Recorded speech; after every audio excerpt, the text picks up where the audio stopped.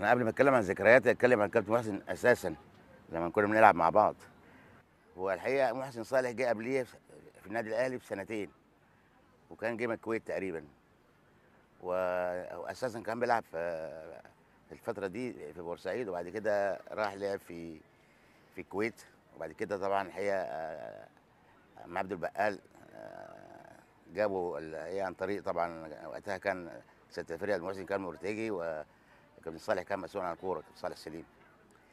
فأنا جيت لقيته موجود في مصر ومن حسن حظي يعني لما أنا جيت من السودان نزلنا في نفس الفندق مع بعض فندق اسمه فندق جلوريا في عماد الدين.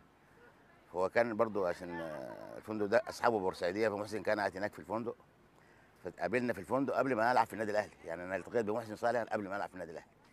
وبعد كده طبعا بحكم إحنا كنا مغتربين الاثنين هو مغترب طبعا من بورسعيد وأنا مغترب من السودان. كنا قاعدين يعني في آه، يعني في شقة مفروشة بعد الفندق. قعدنا في شقة مفروشة هو قاعد في شقه وأنا قاعد في شقه فكنا بنلتقي مع بعض طبعا في في التمرين وكده. هو سبقني لعب قبلية تقريبا موسم تقريبا موجود في النادي الأهلي وبعد كده الحرب قامت. فطبعا أول حاجة يعني علاقتي بيه إيه، يعني زي ما بقول لك ارتبطت إيه، ارتبطت بيه من قبل ما ألعب لسه ما تأيدتش أنا. هو كان بيلعب هو كان أساسي. قليل الانفعال. وكرة القدم اللي ما بينفعلش فيها دي يعني بيعتبروه بارد. لا بس هو في وقت الجد هتلاقيه بقى إيه بين- بينفجر يعني ما بي- ما بيتركش الأمور تسير يعني بنفس ال- ال- ال- الوتيرة اللي هو بيتعامل بيها.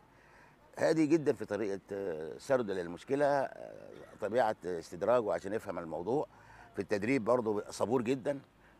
أكتر شغل في التدريب بيعلم اللاعب بيعلم اللاعب حتى بتاع المنتخب إيه واجباته ودوره. المفروض يكون اللاعب ده already عارفها يعني بس فقط يجي يمارسها و- إيه و- ويطبقها في الملعب لكن هو بيعلمه إزاي يرفع وإزاي يعمل الحاجات دي لأنه يعني آه، مدرب يعتبر مدرب coach و trainer في نفس الوقت.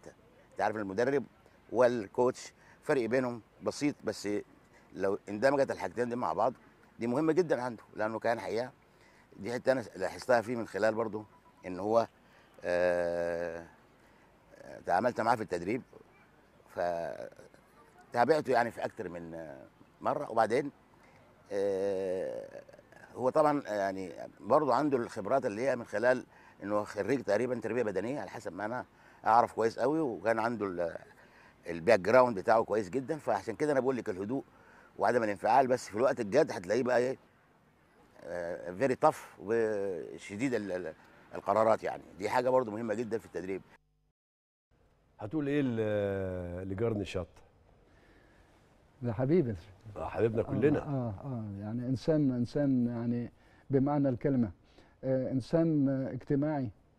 ما فيش يعني خبر يسمعه إنه فلان مريض إلا وتلاقيه أول واحد كل يروح بصراحة. يزور فلان في مشكلة أول واحد يروح عشان يساعد. آه، آه، وبالتالي ده مكسب لينا كبير جدا في الأكاديمية مدير الأكاديمية. وإن كنت أرى إن هو منصبه يعني أكتر من كده بكتير آه، في من بالقياس إلى خبراته المتنوعة في الاتحاد الأفريقي وكلاعب كرة قدم آه، حقيقة مكسب كبير في النادي الأهلي ووجه يعني من الوجوه المشرفة اللي إحنا بنتشرف فيها في النادي الأهلي.